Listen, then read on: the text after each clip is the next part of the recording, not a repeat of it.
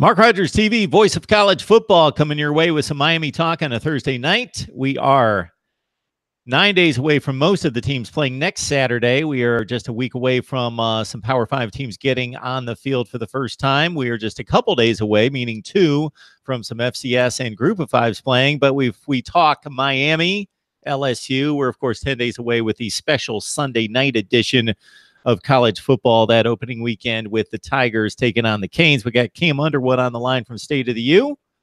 Cam, how you doing tonight? I'm good. I'm good. Yeah, you know, ten days away from the kickoff of this season that we've been looking for for a long time. So downhill towards, uh, you know, not just talking about football, but having real live football. I'm excited. Yeah, the anticipation is just crazy because uh, I know you like the NBA, you like other sports, but it seems like they just shut down and then you blink and you turn around and they're back in uh, camp. But with college football, it just seems like forever. And we've been talking and talking and talking and talking about last season and going over and reviewing it a zillion times, plus trying to project what's going to happen this year. We will finally have a game of fresh play, activity, action on the field to analyze. And that's going to be so much fun. And it's a meaningful, meaningful game obviously for both teams as we have two very talented teams going at it. So, uh, your impressions of what uh, you have seen and heard and read and uh, reported on from Canes camp recently? Yeah, you know, the team has a lot of talent this year. So, I know that we lost a lot of guys, but there's a lot of talent to like. The skill position talent obviously is going um, some of the best skill position talent that you'll find on any roster in America excuse me, um, linebacking core is you know top three in America. Defensive line, while has new names that uh, you know are going to replace some of the veteran contributors, there are you know good players there. Secondary has good players there, you know, but some unproven talent, but a lot of talent there anyway, even if it hasn't been proven at this level. Um, and a quarterback who, at his peak, is you know very very good, but at the valley is very very bad um, and inconsistent at best. So um, that's something that's going to need to obviously uh, change. You know, a stable of running backs. There, there's a lot of things to like.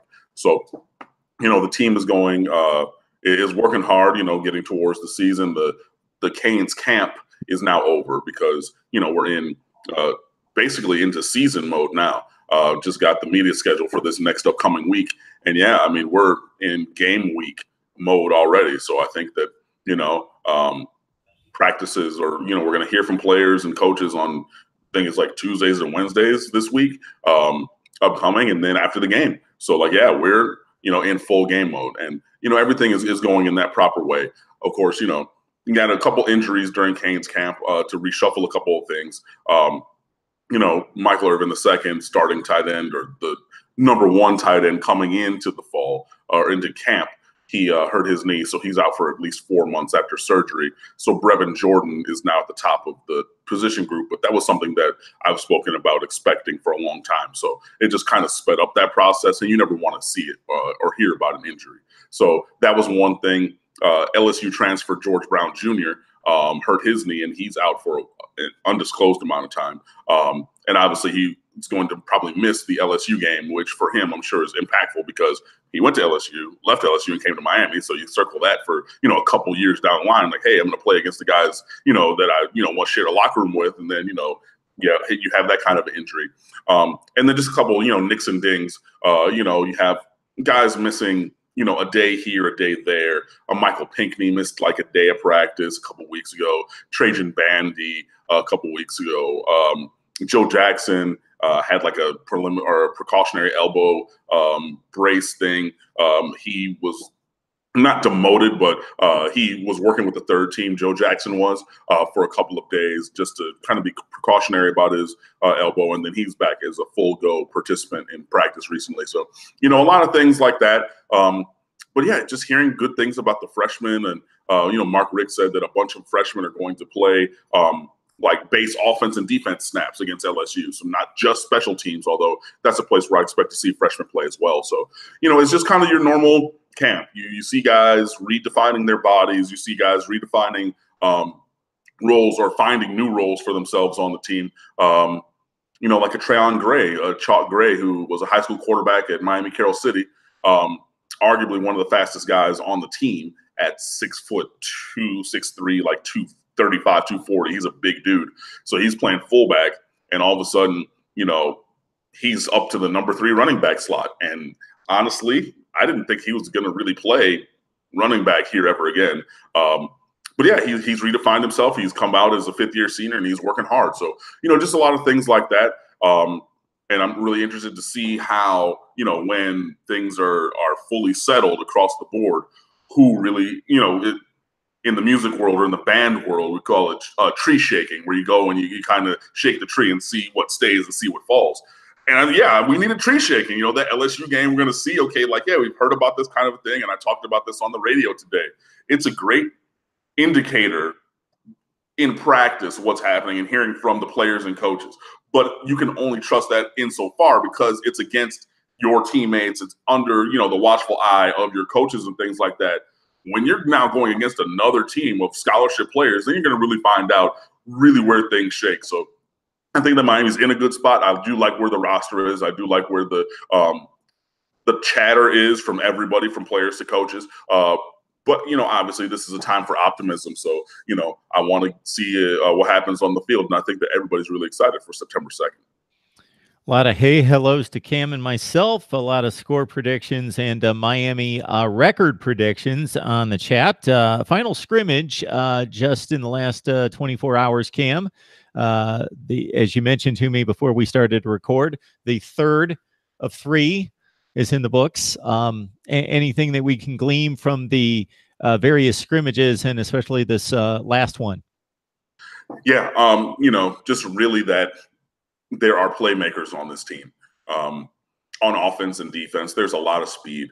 Um, this last scrimmage, uh, Miami put the ones on the same team. So first team offense, first team defense against the best of the rest is what they called it.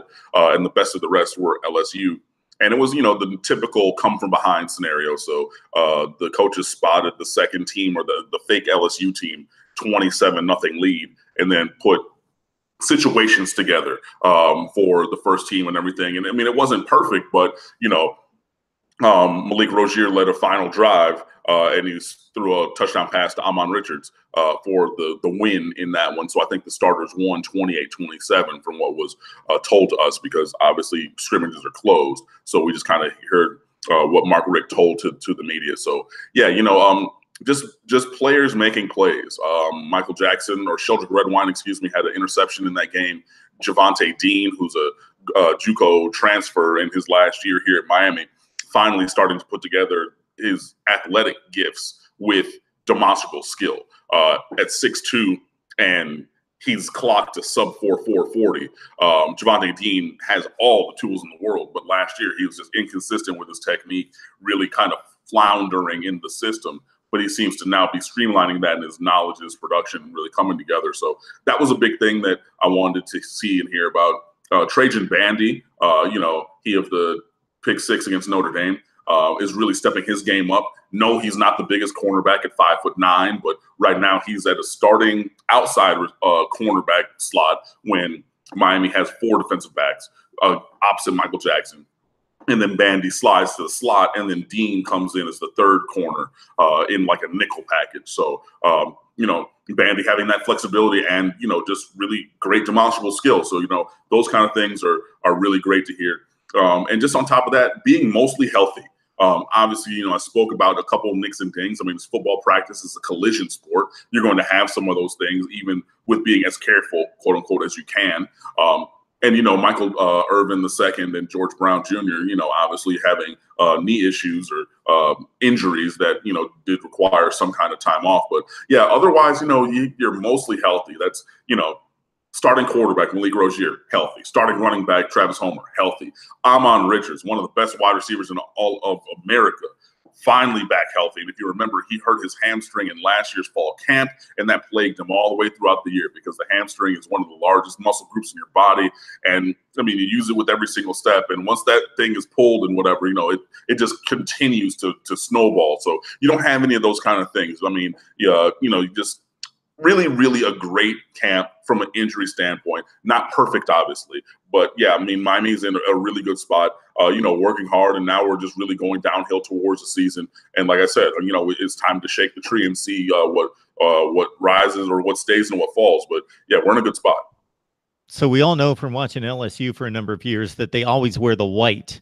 They they have not worn purple uniforms basically. I'm sure they have once or twice, but basically the deal is is that traditionally teams wear dark uniforms at home and therefore they need to wear the white on the road but lsu switches it around so they always choose white because if they're at home they've got the white then they wear the road whites because the other team has chosen to wear the dark jersey. So that that gives me a picture of what the game's going to look like on the tv screen and you're going to be right there in the stadium cam. So the do we know if the canes go with the green or go with the orange and do you have a preference Oh yeah, no, that's a, a great question. Uh, my or LSU does traditionally wear white at home uh, in Death Valley, and they they petitioned for that. Uh, there was a couple years ago, I think it was Oregon State or somebody random went down there, and they were like, no, no, no, no we're going to wear white. And for like a night game in LSU, which is like unheard of, uh, but they do have to petition the other team for that. Uh, and the other team, they were, you know, being jerks. Hey, let's do it. Um, and they said, no, you can't. You know, we're to not, you know, let you have your tradition because we don't have to. Uh, but for the opener in uh, Arlington, Texas, at Jerry Jones World, I, or AKA uh, AT&T Stadium. Uh, the Miami Hurricanes are actually going orange over white, and uh, there is a new alternate jersey actually, and I wrote about this this week on State of the U. Um, Adidas has partnered with a company called Parley for the Oceans, um, and they're making jerseys from upcycled ocean um, waste. So, like plastic from the oceans uh, being taken and then repurposed. Uh, and they're really actually kind of slick. So, if you look at the numbers of the jerseys, the the threading or the detailing is like what Parley is known for. They have this uh, kind of ocean blue uh, and white colorway that they do across all their engagements. That is their that is their thing. Um, so you see some of that detailing, like on the side. There's a, a subliminal shadow of like a a palm tree and things like that. There's like orange cap sleeve kind of a thing. Uh, sorry, green cap sleeves on the orange jersey. Excuse me. Um, there are, and the thing that started to tip people off is um, Adidas and Parley have partnered for uh, different shoes and things like that. And actually, somebody asked me randomly, "Hey, can you talk about shoes for the season? Because I need a new pair." And I included the Parley uh, uh, Ultra Boosts in there, which have that same, you know, traditional colorway of that white and seafoam blue. Um, and yeah, Miami players were wearing cleats in that same colorway. And it kind of looks like almost Dolphins aqua blue, if you will. So a bunch of people were like, hey, why are we wearing these cleats? This is different. Maybe there's an alternate uniform. And, you know, Adidas said when they signed Miami to uh, the apparel deal that uh, they were going to make Miami the premium or premier team for their uh, design and their jersey tech and all these different kind of things. So, yeah, you do have these um, I think they're called Defenders of the Deep alternate jerseys. Um, and yeah, it's pretty cool. And I think actually on Monday, the 27th, uh, the University of Miami is going to put those jerseys up for auction uh, as well, with the proceeds going to uh, the uh, University of Miami Rosenstiel School of Marine and Atmospheric Science, which is a world-renowned school uh, for marine biology and marine sciences, uh, to you know do research on helping the oceans and you know all these different kind of things. So you have the the cleats and the jerseys and everything, you know, in that partnership with Parley and Adidas, which is really pretty cool. So, uh, yeah, we uh, we're Miami's going to have you know orange alternates with you know orange or green details, and then the other the Parley uh, detailing on the numbers and things like that for the opener. So it's a uh, you know I, I was thinking from when I initially saw the uh, the cleats a couple months ago that it was going to be more of like a if you think of like the LeBron 11s, kind of like a, or the the Miami Heat South Beach uniforms, you know, kind of pink and green and mm-hmm. things like that. I, that's what I had in my mind's eye. So when I finally was able to see the jerseys a couple days before they released, it was a little different. So I was kind of taken aback. But the more I look at them, I, it's really a sleek design. It's really cool. And plus the fact, you know, it is a for a good cause, you know, like saving the oceans and you know, kind of curtailing some of the the waste uh, in everything. Because you know, if you don't know, and I mean, I'm not going to be on my soapbox, but like you know, the earth is made like 70% out of water, man. So like these are things that matter to everybody, and especially being here uh, in South Florida and being, you know, very close to the coast and everything, like, you know, the coastline and the oceans, like, you know, I mean, these are things that matter maybe a little bit more to me and where I live than some other people. But, you know, uh, you know, having that combination, that uh, collaboration between Adidas and Parley for the new jerseys is pretty cool. So like I said, I wrote about it up on State of the U, and you can go on there and check it out with some really, really great photos and information. Yeah, I saw the news drop on the uniform selection and the whole process and what it means. And uh, I was just thinking, uh, what a process it must be to be a company, want to sell your jerseys or your uh, gear to a particular college football program of that magnitude. I wonder what the process is of of uh, presenting that, presenting your pitch, the the the fabric, having all that looked at and reviewed, and and the the cost portion of it and all of that reviewed and and and um, taken into account and and accepted and and the deal done. Must be some kind of process there. Yeah i mean obviously you know there there's a lot that goes into that kind of thing and um, you know there you know miami's probably you know obviously has a rep from adidas but you know you're going to have some of the higher ups at the company who are really doing those kind of things and you know having met a lot of people who work for adidas over the years and you know, from a variety of things and, you know, just seeing a lot of the different designs over years, you know, like, yeah, when Miami first went over to Adidas, uh, you know, people were talking about the look like the feathers on the, uh, arms of the jerseys and that was like supposed to be like a hurricane swirl and you take that and then you purpose that onto the jersey and you know uh, it, i mean i liked them it wasn't the best jersey ever, but you know, yeah, um, I think Adidas overall has really tightened up their design of jerseys. And I know that years ago, you know, everybody made fun of every Adidas jersey, but I mean, if you look at the the defenders of the deep, I think what the Adidas and Parley Prime Knit A1 jersey, I think is the official title. Man, it's a great design. So, uh, yeah, you know, it's pretty cool. And like I said, you know, Miami is a premium program. It is a national brand. And Adidas is really partnered with uh, Miami and put Miami at the forefront of the technology and, design element for the company and their partnerships. And we're seeing that right now because you know there are other Adidas schools and there are even a couple of schools who have a more lucrative contract than Miami does, who signed it after Miami and things like that. But those schools didn't get the alternates for the opener. They didn't get this Parley coordination. They didn't get this collaboration the University of Miami did because of the you know the strength of the brand across the board. So yeah, I'm sure that it was an intensive process, and these have been in the works for months. Um, but it's pretty cool to see. So I'm glad you know to to have that, and they'll look really really great on television come September second. Cam Underwood, State of the U, joining us to talk Miami football with us uh, 10 days away from the LSU opener. Uh, a number of comments on the live chat about the uh, uniforms, nothing in particular that stands out, except for Terry King, who mentions that Miami could beat LSU even if they were naked.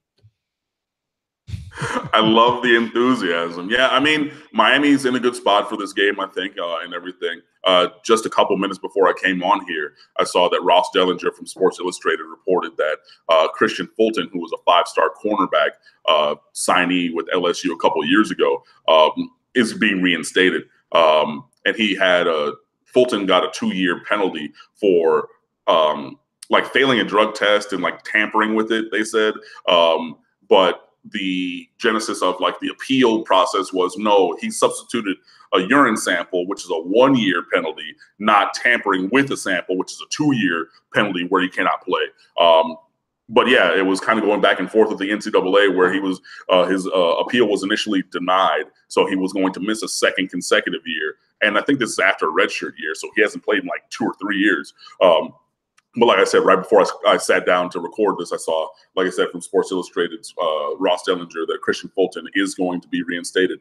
Uh, so that gives um, LSU another talented player uh, who is available for the game and things like that. I mean, not that LSU is really hurting for uh, talent because they do recruit very well and they have a very talented team. But adding Fulton will be a, excuse me, a good addition for them. But with or without Fulton, I think that Miami's in a good spot. I've said it on here, and I've wrote, written it on stateoftheu.com. You know, the website that you know I've been managing for a couple years now. Um, but uh, yeah, if Miami comes out and does what Miami needs to do, then you know I'm fairly confident that Miami should be victorious.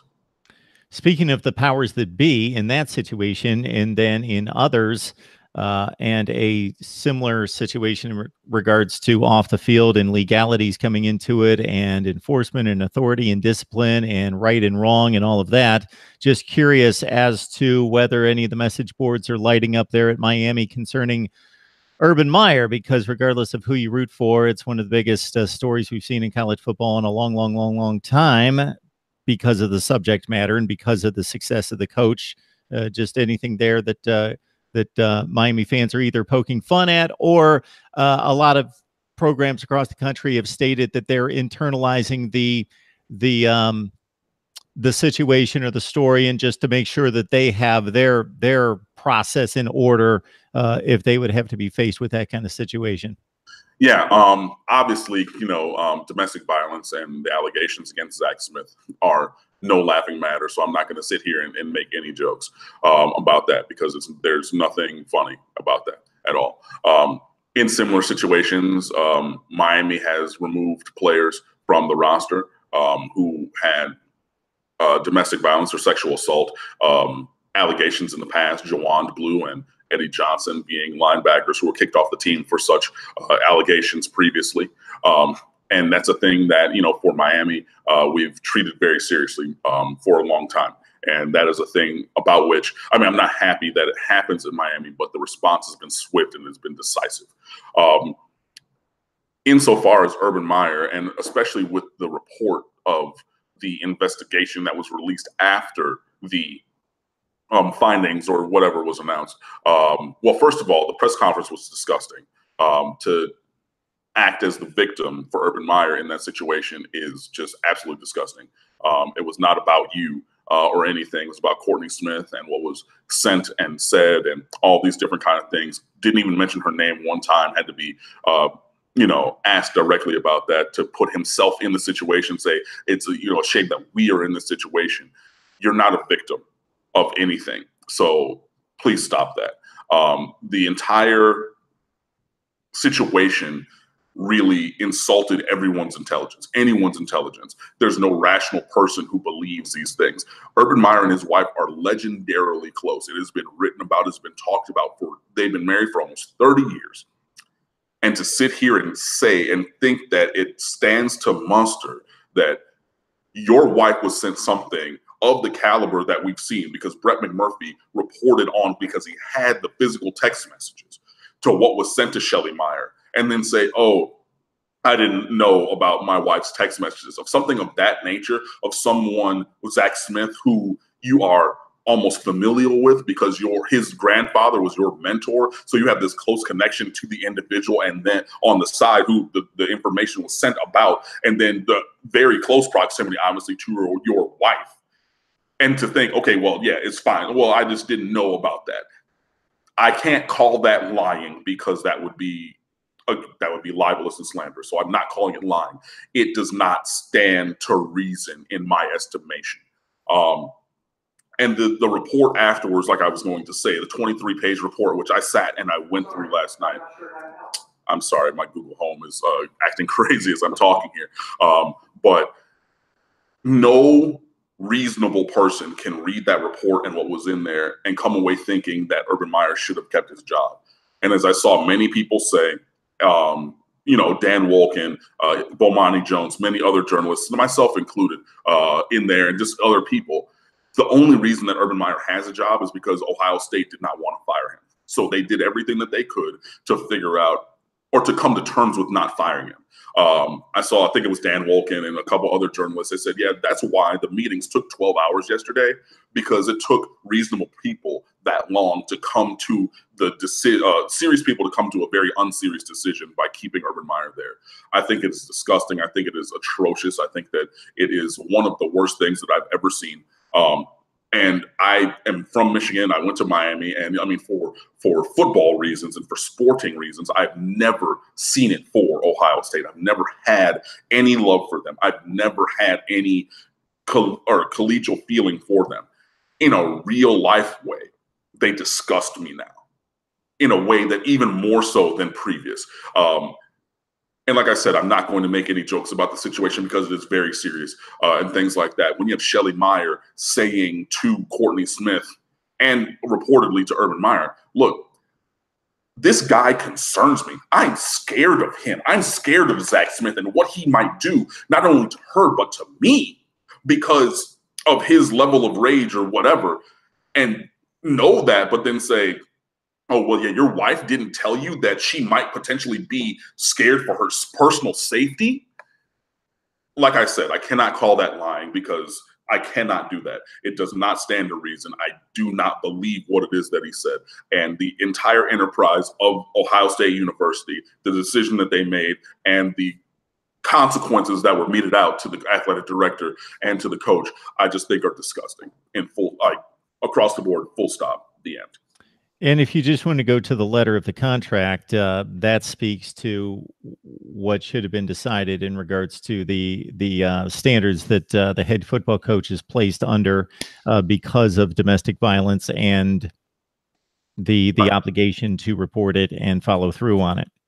Exactly, you know, and it just yeah, you know, you're just, I mean, and, you know, the other revelation talking about today or like late last night that Urban Meyer was asking people about how to delete text messages from his phone from more than a year ago so that when he went, um, you know, those would not be available. So you obviously have direct tampering. Um, that was discussed. I'm not going to say that he did that, but, you know, when he met with the investigators, there were no text messages for more than a year ago. So logically, if you're asking about how to do that because you want to get rid of those things, and when you go to meet with the investigator, those things do not exist, the logical link is there. I'm not saying exactly what happened because I was not there, and you know, legally I cannot say that. However, following the chain of logic of the events from the times that you know they were reported, it seems to be very clear. Um, and yeah, again, just like you talked about, the verbiage in the contract, you know, said a certain thing the actions were different. Now I don't know if you know the exact verbiage in the contract, and obviously you know they the the people who decided things at Ohio State maybe did not have the foundation for firing Urban Meyer for cause, and obviously you don't want to fire somebody and then pay them $38 million because $38 million is hard to come by even at a very lucrative program with very you know probably rich boosters and things like that however you know it just again does not fit reasonable estimation of any reasonable person that he keeps his job regardless of your rooting interest period. So the the two uh, situations you just outlined that you cannot 100% draw a conclusion but any reasonable person would make the conclusion would be yeah concerning the text message communication from Shelley Meyer to Urban Meyer everybody, all of us thought the same thing when the story first broke that obviously this is a married couple. And then, as you mentioned, it's even uh, reported based on just uh, storytelling throughout their their life together and his coaching that uh, they're they're close. So uh, the magnitude we're not talking about can you stop by and grab uh, a gallon of milk at the grocery store kind of text. We're talking about uh, the most weighty text you can imagine receiving. Number one, and then the well, other conclusion that you just let me let me stop you right there again, uh, and just with the correction, the the text messages were from Courtney Smith to Shelley Meyer, sure. not from Shelley Meyer to Urban Meyer. So just wanted yeah, to. I, am sorry, right. I, I yeah yes exactly. Uh, and then the other um, point that you made that was a logical conclusion. Ah, uh, deleting I lost it. For deleting them. Yes, the the if you're asking about it, and then in fact they don't exist prior right. to August 1st of last year, that's a logical conclusion. Again, you can't say there there's it's a smoking gun. It's not, you know, you see the guy over the dead body and you see a uh, he's holding a smoking gun. That's exactly what that means. It means that there is hardly any way you can feasibly imagine this person being lying on the floor dead for any other reason than the guy holding the smoking gun, but you didn't see the shot fired. Uh, the committee at the same time, or the um, the investigative committee, they went to other conclusions and drew other conclusions that seemed to be a little bit more of a stretch in regards to Urban Meyer's good faith. Um, however they phrased it, his diligence in pursuing the matter, or uh, in another way, they they uh, his remorse and and his um, also um, because based on the decisions that he's made at Ohio State in reprimanding players, that he has uh, that level of respect for women. So. Uh, I'm not denying those things, but again, those are um, those two statements, those various statements, are, have a larger disparity between uh, connecting the dots than do the two that you made in regards to um, showing guilt. Yep. All right. Didn't necessarily want to go down that path, but you raise a, a lot of good things uh, about uh, that situation, and um, that's uh, just a bit baffling uh, for a number of reasons.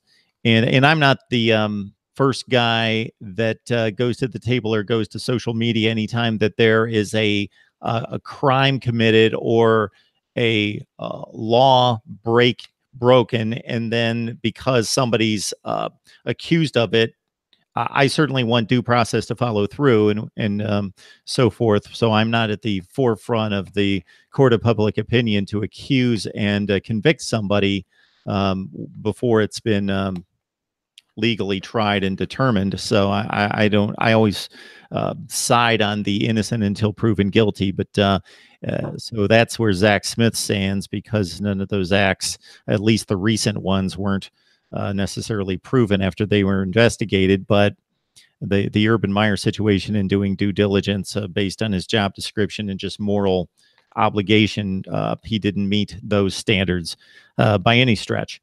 All right. Uh, Cam talking uh, Miami football. So two things hit me. One was based on the chat here. Uh, somebody called your defense the most complete in college football. Now, obviously, you don't have a firsthand knowledge of every defense in college football, but are you happy with the defense uh, from a depleted defensive line compared to what you had last year with some of the great playmakers up front, RJ McIntosh in particular, all the way through the secondary? Excuse me. Yeah, um, that's a good question. Uh, I spoke about this on the radio today. I think that there are the bodies in the building to replace the guys who were lost. I think there is enough talent. Obviously, you have a Gerald Willis III, who was a five-star recruit uh, years ago. Now he's back after a leave of absence. He hasn't basically played in almost two full calendar years. Um, so that's a guy who can step in and replace, you know, Kendrick Norton, RJ McIntosh, or some of the production there. Uh, you have progression from Pat Bethel. You have Tito Odenigbo, Odenigbo, however you say it, uh, transfer from Illinois, um, who's actually, you know, been very good throughout the fall. Um, you have Nesta Silvera. You have, um, excuse me, somebody else at defensive tackle whose name I cannot remember right now. Um, John Ford, I think I said Nesta Silvera, yeah, those guys. So you have five defensive tackles. Um, you have a bunch of pass rushers. Scott Patchan back on defense, uh, finally healthy again. He's a guy who's battled some injuries at Miami, looking like he can be a contributor. Joe Jackson and John Garvin already. Uh, you know, your starting defensive ends. Demetrius Jackson, who's back after ending the year with a knee injury a little early. Um, a couple games early last year. He could play outside and inside, probably your best run defending um, defensive lineman. So yeah, I think that there are bodies up front and from a individual coaching standpoint at defensive line, Jess Simpson has uh, worked in college. He's worked in the NFL, and other coaches from those levels used to go to to his high school when he was working in Georgia to learn more about defensive line. So I'm not going to say it's a one to one replacement for Craig Kuligowski because I say and I believe that Craig Kuligowski is probably the best defensive line coach in America, but it's not a far drop off. If I mean, it's probably negligible at best going to Jess Simpson. So, from an individual coaching standpoint, I do believe that the players are going to have proper progression in coaching. Additionally, the overall defense, the scheme is to get upfield, be disruptive. So that comes from Manny Diaz with the X's and O's up front or from the top down. So I think that you know the guys up front are going to be put in a position to be successful, and I think that you know there's the talent to be successful. Obviously, Miami's linebacking situation is one of the best in America. Um, Romeo Finley now looking like he's going to be the starter at striker um, in front of Zach McCloud. Um, but Zach McCloud started for two years, so that's another guy with starting experience. Uh, Romeo uh, Finley was a former safety; he's now playing that hybrid striker position, which you know against teams that you know spread it out a little bit more, you have a little bit more athleticism. Shaq Quarterman's a second team All American by pretty much every single uh, publication that has released a preseason All American team. Uh, Michael Pinckney is one of the best playmakers on the defense, uh, super underrated coming out of high school, but you know he's just been making plays for two years. Um, you know, so I'm, I feel very strongly about that top five group. Uh, if you put in like maybe a, a Mike Smith, who's the backup uh, to both uh, Pinckney and Quarterman. So yeah, I mean those five guys at linebacker, that's a very strong room. Obviously, Miami has uh, three very good linebackers uh, so, are committed to this recruiting class coming up for 2019. So you know, if and when those uh, you know now juniors who started as freshmen and sophomores decide to leave to go to the NFL or they're out of eligibility, there will be troops to replace them. Which you know is a thing that Miami's getting into with having higher rated recruiting classes. And then there's all kinds of talent in the secondary. Michael uh, Michael Jackson uh, is one of the best cornerbacks in America. Uh, big dude at 6'1", probably 205. Uh, had a really breakout season last year. You know, he's a new father with a, a, young child and everything. So, you know, he's playing for a career to provide for his family, and he's elite. Jaquan Johnson's a first team All American by pretty much every single entity that has released uh, a preseason All American group. I think the um, the Athletic is the only one that listed Jaquan Johnson as a second teamer, not a first team All American. So, I mean, again, that guy was the franchise. And I said I've said it on this channel and talking to you for years. He was a four-team first team, a four-time first team all Miami Dade player at the biggest classification in football, in Florida high school football. That's unheard of. It's literally a handful of people who have ever been four times first team all Dade County because of the talent that's there. You most players don't even play varsity their freshman year. He played varsity and was a standout his freshman year all the way through. Comes in, you know, uh, just a great player, really finally, you know, progressing all the way through. He's an elite player, could be the best safety in all of college football. He's in Miami secondary. His very close friend, born at the same hospital on the same day, is Sheldrick Redwine. They played together growing up the entire way through. Redwine used to play corner, but I think he's found a home at safety opposite Johnson. And that pairing of safeties is one of the best in America. So you have three guys in Jackson, Johnson and Redwine, who are at the top of their game now, all as seniors. So they've seen a lot. They've been through a lot. They've been through the dark times and then, you know, the high points as well here. And then you have Trajan Bandy, who I said, you know, is a sophomore down or through and through Hurricane. Finally got his offer a couple years ago, uh, committed pretty much immediately. Played a big role as a freshman. He's going to start probably outside. Jhavonte Dean, like I said, six two, and you can run a sub 4 440. If you have any kind of skill to go with that athleticism, boom, Gilbert Frierson, um, he's going to be really good. He's a freshman. DJ Ivey, Gurvan Hall, Amari Carter. We got guys back there. Now, some of those other guys, after the first three, they don't have the game reps and things like that, like I was talking about. But it's taken me a couple minutes to go through every position group on defense. But from you know the line to the intermediate uh, level with the linebackers, the second level with the linebackers, and then you know to the secondary, Miami has the players across the board. Now, obviously, they have to have developed the skill and you know uh, make the plays and not make any mental breakdowns in the game. But I'm very confident with where the scheme of the defense is. I'm very confident where the talent of the defense is. Obviously, we need to tweak some things because at the end of the year, teams kind of figured out uh, a couple weak spots on the defense. And the last four games, I think Miami gave up 72% completions, which is unsustainable, obviously, as you can see by the results in those last four games. Uh, three of the last three of which were losses. Um, so yeah, I mean, obviously there needs to be tweaks and things like that, but I think that my, Manny Diaz is, you know, getting to where the defense is fully where he wants it to be from a personnel standpoint. I think that he's able to do some really great things, including like it, Manny Diaz is one of the best in America at cornerback blitzes and safety blitz or defensive back blitzes. And like I said, when you have guys like that, when you have talent like this, then I think things should be good. So yeah, from a scheme standpoint and a personnel standpoint, I'm very confident with where Miami's defense is. I hope that we are as opportunistic with turnover luck this year as we were last year because turnovers are largely luck and there's math to support that. And I know that people, you know, say, "Oh no, it's look." The numbers support the fact that it is random to an extent with turnovers. Uh, but Miami trains for those to try to get those with their ball skills in the secondary and you know the rip and strip uh, up front. So you know, hopefully those things stay the same. But yeah, I'm in a very good spot with the defense right now. We're 10 days away from Miami LSU. If we got Cam Underwood on the line from State of the U, please join him right there for the very best in Miami football coverage as the Canes get set to defend their Coastal Division championship and make it back to the ACC championship game. Uh, Cam, one thing that came to mind for me, uh, I always like these kind of conceptual type questions. Uh, maybe I'm miscategorizing this, but uh, if you look at the number of plays that should be run by the Miami offense, all things being equal, that it's a very competitive game, score in the mid to high 20s, something in that range, and the pace of play is what we would expect it to be. Let's say, and correct me if I'm wrong, let's say Miami runs 80 to 85 plays. and they throw they want to throw 28 or 30 passes they want to run it 45 or 50 times i would love to know what you anticipate to be the running back distribution in terms of carries yeah um i think that those plays might be a little a little high, high. yeah, yeah um just in general because i'm trying to get to the game there we go game log so last year miami ran let me see, we ran more than 70 plays only four times. Um, Florida State, Georgia Tech, Syracuse, and North Carolina, 73, 74, 75, which was a season high in 73. Other than that, yeah, I mean, you're going to run 58 plays against Virginia Tech, which is kind of crazy when you think about how that game went. Uh, and then in the 60s. So, uh, yeah, so you're talking like a play per minute, maybe a little bit, I mean, about give or take 840 Sorry, I got to do the math. So we got that. 65 plays a game is what Miami averaged last year. So, yeah. So if you're talking, you want to be 35 or 40 run plays, um, you know, I think that you're going to have 18 to 25 for Travis Homer. Uh, you're going to have another five to 10 for Rosier because he does add that QB run element. And then you're going to split them up between DJ Dallas, um, who's the number two running back, and off, he's a slash offensive weapon.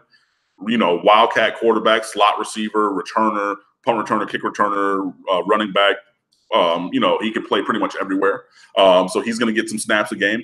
And then Trayone Gray um, has really been a revelation this fall um, at the running back position. And also, you know, he can play single back, he can play fullback, um, a role similar to what um, Najeh Davenport did uh, as a junior and a senior at Miami. You know, he started as a running back, and he's a bigger dude. You know, 6'2", 235 when he played, uh, and then he, you know, he played fullback because Miami was loaded back, you know, 2001, 02, uh, and then played some single back because you know he had the skills for that, and even played single back in the in the NFL for many many years. Uh, and so I think that uh, Chalk Gray, his his ceiling, I think, is, is, that kind of a thing. But yeah, I think that he's going to get some carries. Um, and then you have Lorenzo Lingard, who you know is a five-star uh, freshman, a five-star recruit. He's the most talented recruit uh, that Miami signed this last year, uh, and he fell down the depth chart a little bit because of some struggles with pass protection, which we know at this level really matters. So I would say half ish of the carries a game, um, maybe a little bit over. So half to maybe sixty percent will go to Homer. Then you know, another five to 10. So we're talking maybe another 15, 20% to um, Rosier. And that leaves you, you know, the other 20 or so percent, 25% splitting between uh, Trey, uh, DJ Dallas, Trayone Gray, and Lorenzo Lingard. So um, it's a, a, good problem to have where Miami has so much talent that it's going to be an interesting balancing act for Thomas Brown to get everybody the ball. But yeah, I think that that's how it's going to play out. Got Cam Underwood on the line from State of the U, talking up the Canes with LSU on tap. Of course, a much anticipated game we've been waiting forever, and it's a Sunday night affair after most of the college football is going to be in the books. And uh, that uh, little rival there to the north, uh, Tallahassee, is going to be the host of a Monday night game with Virginia Tech in town, a very important ACC game right out of the chute. Uh, Cam, so the the chat is reminding me not that they're yelling at me saying hey mark ask this ask this but the rhetoric within the chat is reminding me of a point that i've wanted to hit on a number of times. Considering what happened last year considering both good and bad going to the acc championship game winning the division also considering the amount of talent and being the overwhelming favorite. It seems as though almost whether it's a Miami fan or on the other side a Clemson fan, but we'll take the Miami group. Uh, you have a large amount of the fan base just skipping the season, talking about how are we going to get ready for Ellis or uh, for Clemson, talking about just just basically with the assumption that you're going to win the division and you're going to line up against Clemson again in the ACC championship game. And what's that going to look like? Uh, I see it every time we we do a Miami uh, live stream on the chat. Just people talking about Clemson. How do we match up about against Clemson? That being a constant thought. Yeah, I mean it's it's good to think that way because you can't set low expectations and have high achievement, um, just in life or you know in sports. So looking at Clemson, because they're the class of the conference, they're one of, if not the best program in America in America right now in college football. So we Miami should be looking at Clemson and trying to figure out how to how to get on their level. I mean, the last two times we played, Clemson's beat uh, beat Miami 93 to 3. You know, um, that's not an engagement that I'm looking forward to repeating. So obviously, um, the goal I mean, the first goal is winning the, I mean, winning each game in front of you, um, or a vast majority. Uh, so you know, win the games on the schedule, win the division. You know, again, uh, which honestly Miami should because we're the most talented team and have a relatively easy schedule on the you know the path towards that. So that's number one. Number two is winning the conference, which is excuse me, means you got to go through Clemson. And I see that you have the helmet in the background there on your setup. But yeah, it that is a reasonable goal. That is a thing that Miami has to figure out how to do. Because the last two times, like I said, Miami has been unable to do so. And the last time was in the ACC championship game. So you have to beat that team to get that championship. Um, and, you know, like I said, Miami is not back until championships are won. I was really thinking of national, but I mean, if you're beating Clemson, who's a national championship favorite, that's a kind of championship where you can say, okay, Miami's back. If my if, if both teams came in, let's just say both teams came in 12 and 0 to the ACC championship game, and Miami wins that game, regardless of how it is, whether it's one point or by a million over Clemson, and everybody, you know, we used to all make uh, jokes about Clemsoning and how they figured out a way with very, you know, top end talent to not have that production. But Clemson now has eschewed that. They're a premium program, and you beat them, that's a positive step forward. Um, and then you know you make the playoff, obviously at 13 and 0, and then you let the the chips fall where they're made. Now I'm not saying that's what's going to happen, but that is the viewpoint and the desire and the plan. So yeah, Miami should be looking that way. I think that the offensive line, which has been better by reports um, throughout the fall, needs to show that again progression and performance in games against other teams. And then against Clemson, really has to step it up because they whipped us last year up front. It was terrible. Um, you know, Malik Rosier had no time. Uh, even when he had time, you know, then he kind of was seeing ghosts because he was thinking, oh my God, one of these big dudes is going to come around the corner and all those big dudes are back again. So, yeah, I mean, the offensive line, I mean, Clemson's defensive line is probably the best single unit in America of any from any team, full stop. So, yeah, obviously matching up against them, Miami's offensive line is not the best in America. I think it can be decent, but when you're going up against the best, and I mean, they have five stars from this past recruiting class who are playing third team. Xavier Thomas was like a top five recruit. Um, there's another kid, I forget his name right now. He's a top 20 recruit. Five stars, both of them. They're playing third team. You know, that's the kind of depth they have on defensive line. So that's kind of concerning. Linebacker, okay. If there's a weakness on Clemson's team, it's going to be in the secondary. Now, Miami has the athletes to take advantage of that, but does the offensive line give time to Rosier? And does Rosier have the accuracy to now take advantage of those things? Because even last year, Jeff Thomas on that play action play was butt naked wide open. I mean, backflips and cartwheels down the field. I mean, he was unguarded because he has that kind of talent. And he, you know, call or we dialed up the proper route combination. Boom, he came butt naked wide open, but there was no time and Malik Rosier threw it late and missed him.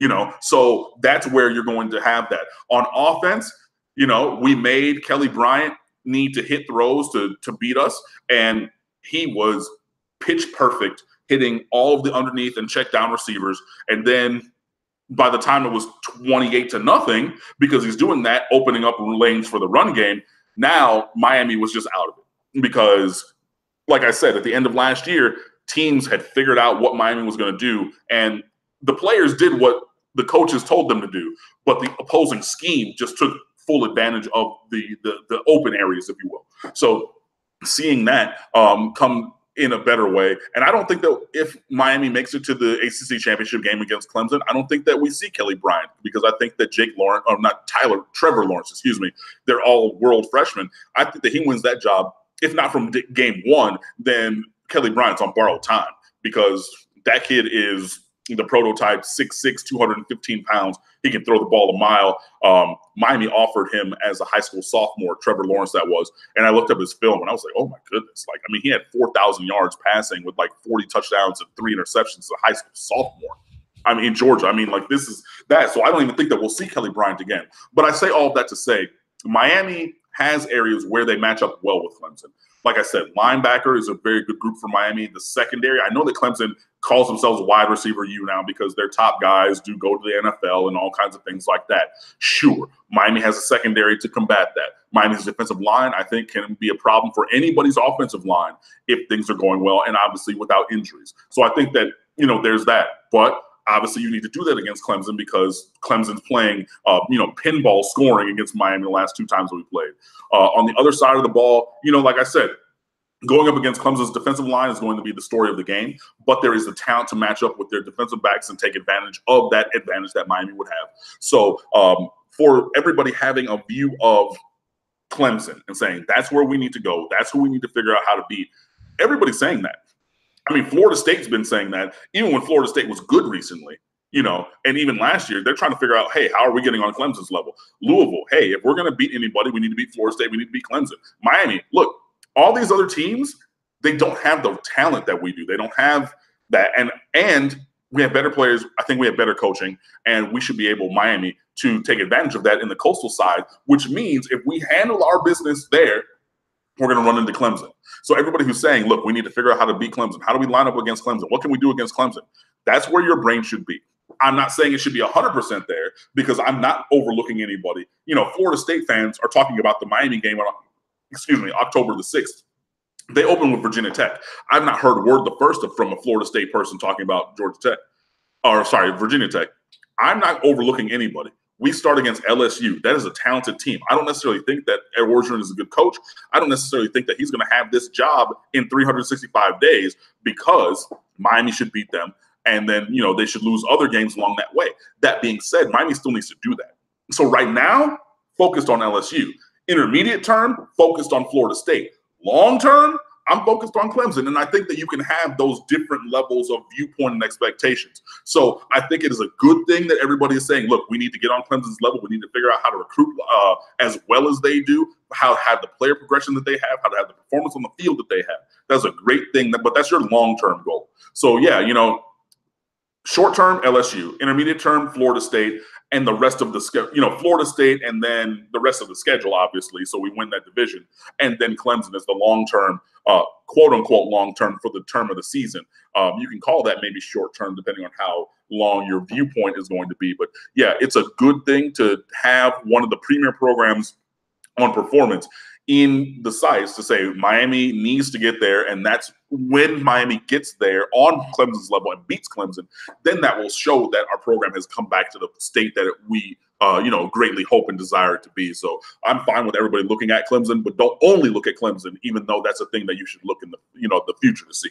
So there's a handful of programs in the country that can look forward to a conference championship game, I think, and, and we all know who those teams are and based on Miami's talent, what they accomplished last year, and based on the competition in the division, they could fill in that blank, even though I don't believe that, well, last year's team was not elite. We'll wait to see what happens with this year, but they certainly have an opportunity to rejoin the elite. Okay.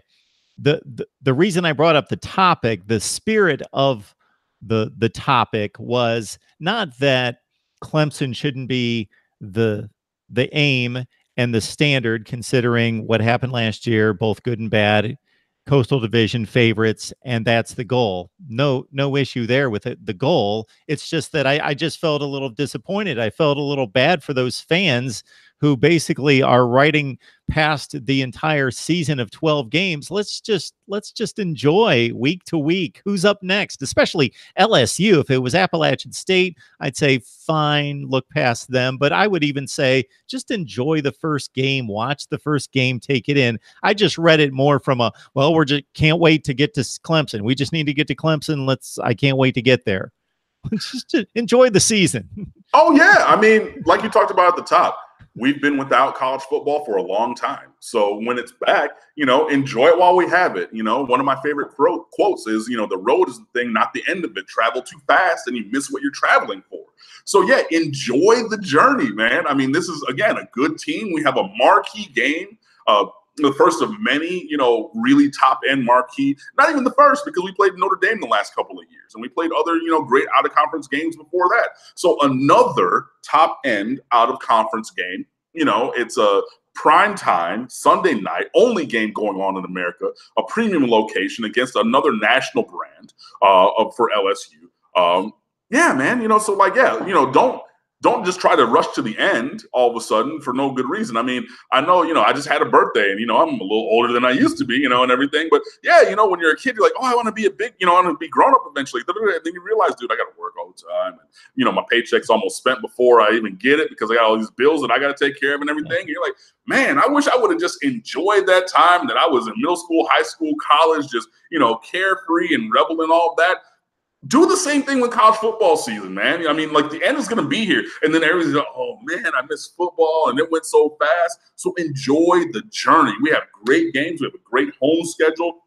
You know, LSU to start, you have Florida State at home down here in Hard Rock Stadium, looking to win at home against them for the first time since 2004. I want to say it's been forever since we've seen a win here in South Florida against the rival team. So that's going to be a major thing. You know, Boston College on a Friday night, you have another home game on a Thursday night. So you're going to have premium games all the way throughout. You know, if everything you know holds all the way to the Florida State game. There's no other game that weekend that is a premium game such as this. So that could be another Miami, uh, Miami Hurricanes host game day kind of thing, which was electric and awesome last year. You're going to have you know great recruiting business along the way. You're going to have hopefully players um, playing to their potential, like Ahmmon Richards reinserting himself into the national conversation. You're going to have new faces who step up in all these different kind of things. You're going to see some great plays, you know, all, all across the board. You know, you remember Jaquan Johnson's one-handed interception against uh, Virginia Tech last year and those black jerseys spinning and running up the field. You remember all these different things? Yo, there's going to be plays like that this year.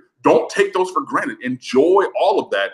And then at the end of the season, with Miami hopefully handling their business, winning the Coastal Division again, and then getting the Clemson. Now we can reset and focus on that now, but don't speed to the end. Enjoy it because Miami should be beating teams to sleep this year. We should have games. And Mark was talking earlier, oh, Miami scores you know, mid 20s and everything like that. That's going to be a no. Like, that's not the expectation. Miami has the talent to score, you know, 35, 40 points a game across the board because they have that kind of talent. Don't you want to see that? Don't you want to see this team that we suffered through with Al Golden getting blown out a million to zero and all these different kind of things? Don't you want to see that team now not be the nail, but be the hammer? I want to see that, bro. I'm here for that. I'm enjoying all of that. So every step along the way, I'm going to enjoy. And then when we get to Clemson, we'll deal with Clemson because they're going to be out there. So hey, Clemson fans, I know that you're some of you guys are probably watching. Hey, come the first weekend in December, we'll talk. But right now, LSU, you're on the clock, and then we got teams after that: Savannah State, Toledo, uh, Florida State, everybody else. But I'm enjoying this journey, and I urge you Hurricanes fans to do the same. Oh, that was beautiful. You. Well stated. All right. So that was my spirit of bringing up that topic. I just thought, man, just enjoy it. Just enjoy it. And and Cam explained it, and he pretty much explained exactly what was up here and in my heart is just even if it's uh even if it's Virginia week or Syracuse week like it was last year whoever it is from the the other division Boston College and Florida State they're going to be difficult games in the other division. But regardless, and then my only other point, and then I'll let you go, Cam, is uh, you brought up the Kelly Bryant, Trevor Lawrence scenario at quarterback for Clemson. My only thought there is what's going to be fascinating, possibly, is if Clemson's off to what we would expect to be an 8 0 start, let's say, and Kelly Bryant is very pedestrian. Does Dabo Swinney pull the plug on an undefeated team and make the quarterback switch, thinking, yeah, we know we're going to win the division or maybe even the ACC with Kelly Bryant at quarterback, but we know what the end game is and our ultimate goal. And to get there, we need to get the kid ready for the ultimate prize and get him that five games or six games. That'll be an interesting dilemma to see play out if it happens that way yeah, I don't think that even because I mean you're you're really talking about the same kind of scenario that Miami had last year with Malik Rosier, where obviously throughout the year the performance was not elite all the way through, but the team kept winning games even in spite of kind of poor performance at times. Um, I don't even think that it's going to get as far as eight zero before that's a conversation. I mean, the clock on Kelly Bryant starting I mean, the expiration date is coming up very, very soon. I don't know if it's going to be game one or it's going to be game three or four, but I don't see it going eight games even. I really honestly don't. Trevor Lawrence is, you know, a generational kind of talent. He's the talent. He's way better of a prospect than Kelly Bryant is. And if the difference in performance is negligible, which I, from all the reports, because I've been, I've been reading a lot of stuff about Clemson. I've been following them because obviously, you know, they're a program that we go, you know, and we face, or hopefully we'll face in the championship game scenario and things like that, similar to like I read about Florida State because that's a team that we compete against. I mean, it's not like Lawrence is fourth or 15 or anything like that. Like he was in for the spring. He came in early. He played well then. You know, he's continuing uh, all that kind of thing. So yeah, I don't. I think it's going to be a handful of games, not two handful of games. It won't get to eight, I don't think. Um, but yeah, I mean, just the even in the short term, as a freshman versus a senior, I think that the performance level for Trevor Lawrence will be higher than Kelly Bryant. Because quite honestly, Kelly Bryant was not very good. Um, I think his best game was against Miami because uh, you know down a couple bodies and like the scheme. Obviously, they just figured out how to combat that. But Kelly Bryant's kind of average at best. I mean, he's he's he's Jag. He's just a guy. But Trevor Lawrence is like that dude. He's not just a guy. Like he's that that guy. Um, and yeah, I think it's going to be sooner rather than later. Uh, and I think that everybody knows that. And I think that even even though he won't necessarily like it or admit it, I think that Kelly Bryant knows that. You know what I'm saying? Like he's not living in a vacuum. You know, like okay, cool. He was able to beat out Hunter Johnson, who was a five star recruit from Indiana. Um, and then he J- Johnson left and he went to Northwestern, so he's going to sit out this year. He's going to be closer to home. You get a better education because a Northwestern education is phenomenal. Um, and then you're playing in the Big Ten. You're a little closer to home and things like that. And you know, obviously, he's going to be the most talented kid on the roster. Where that wasn't the case, you know, in Clemson, but could Hunter Johnson have eventually overtaken? Sure. Zerrick Cooper? Sure. But Trevor Lawrence is that guy. I mean, like he's yeah, I mean, he's like he's a different player than Deshaun Watson, but that kind of caliber of player, um, where it's not if he starts as a freshman, it's when. So I think it's going to be sooner rather than later. Um, and you know, for all of the talk of Clemson being wide receiver U and you know everything like that, I think when you have Trevor Lawrence out there, I think that the receivers across the board are going to see success that they haven't even seen because you know Deshaun Watson ran for 1,100 yards one year. Uh, before he ran for 700 his second year, things like that. I mean, but you're not going to have those kind of rushing numbers from Trevor Lawrence, which means you take those numbers away. Maybe you give a couple, few of those rushing yards, maybe a hundred or two uh, to the running backs, but the rest of going to be passing because Lawrence wants to throw the ball. He wants to throw like deep. So you have Justyn Ross, who had the nasty one-handed catch that Clemson social media put up. Uh, that was crazy. You have all these guys on that roster. You're going to really push that ball down the field. It's going to be a different big play offense from a throwing standpoint with Lawrence. So yeah, I think it's going to be uh, just a matter of time. If not the opener, I don't see that Kelly Bryant is starting by October the first. Honestly. Please like, comment, and subscribe right here for the best discussion in college football insight uh, from uh, the best bloggers, broadcasters, and writers around, like Cam Underwood from State of the U. Join him right there, State of the U, for Cam and the rest of the crew covering Miami sports across the board. Football, of course, front and center with LSU coming up in 10 days. We go to it, Cam. Yeah. Um, the last thing that I want to say, and I know that you know I usually do my website plug at the end, but you know Mark did a great job uh, with that, and I hope that you are uh, you know reading State of the U because we do have comprehensive Miami Hurricanes coverage across the board, um, and we do we have a great team uh, of writers and contributors, so we're, we're doing a lot of great things. But speaking of that, I hinted at a couple things the last time I was on, or I hinted at something, and that's finally come to fruition. Um, for the last few months uh, I was working on a feature called the recruiting rules, where we looked at, or I, with uh, the help of some other recruiting writers and analysts, looked at what teams do, what are the traits and things that they do to recruit championship caliber rosters. So everybody knows that you want to have the blue chip ratio that Bud Elliott, my colleague, coined. You know, more than 50% of blue chip recruits on a team. But other than wanting that, how do you get that? Um, so I put together a really great piece.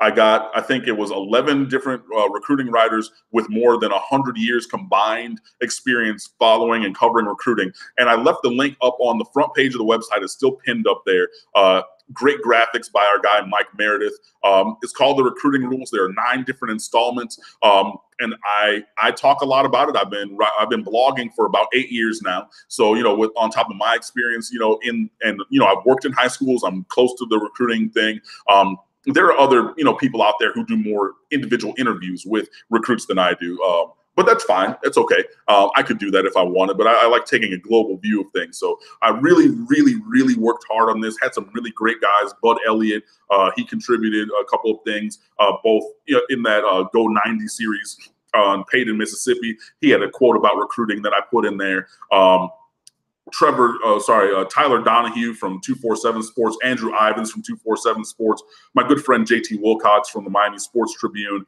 a couple local beat writers, uh, you know, who cover recruiting and, and, preps and things like that as well. Uh, so put together, I think, a really dynamic thing. Um, you know, use a lot of their quotations.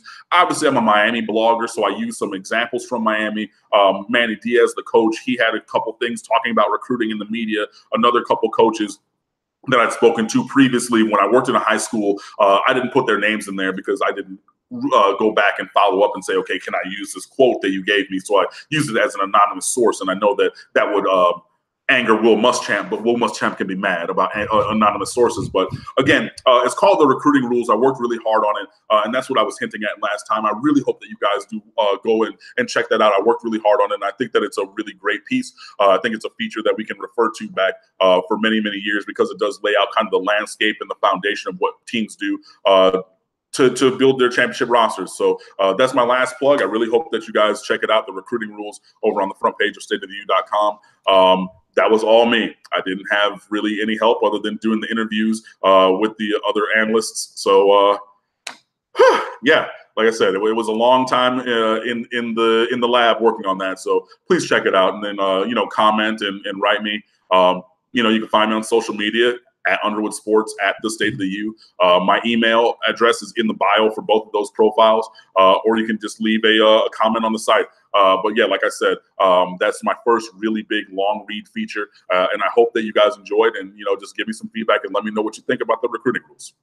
So please do that. I know that a ton of you, because when Cam is absent, you make us aware of that. That you want to hear from Cam. So this is a benefit to him and it's going to be a benefit to you because you love college football and by extension most of you love recruiting and you're going to learn not you keep up with specific players or specific teams. This is going to as cam outlined give you a broad perspective on the recruiting game and how it works and what you want and how you build a roster and all those things. So it, it looks it's it's outstanding. I've read cam's work many many many times uh, and I'm not a recruiting guy, but I need to understand it based on what I do as well. Right. Uh, so I rely on guys like Cam to come on and talk about specific players and needs on teams. But in regards to understanding the approach for elite uh, programs and the the player perspective and all that uh, is contained right here as I brush through the nine uh, part series, uh, it's all right there.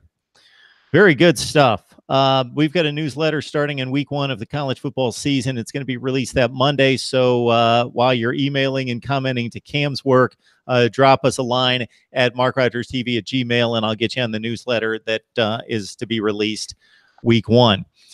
All right, Cam, man, you did a lot of work here. Uh, go uh, have a good rest of your night. you've earned it. Yeah, man. You know, thanks, and I appreciate it. So, uh, you know, I, w- I was absent last week. Um, I know Mark was reaching out to me because my birthday was last week, Friday the seventeenth, um, the uh, annual day commemorating and celebrating the most awesome day in the history of the world. Uh, is what you know, trademark. Uh, my birthday is called. So, uh, thank you, thank you to everybody uh, for that. Um, and honestly, you know, I'm here all the time, so it's always a great conversation. Be sure you check me out on social. Be sure you check out State of the U. We have a Facebook page. We have an Instagram. You know, obviously the website, all those uh, state of the U, um, the state of the U, I want to say on social. Um, but yeah, you know, go check it out. We're going to be here for the Miami Hurricanes season. Um, and like we talked about earlier, enjoy the ride because it's going to be a good one. All right, Cam, we will see you soon. Thank Later, you so guys. much.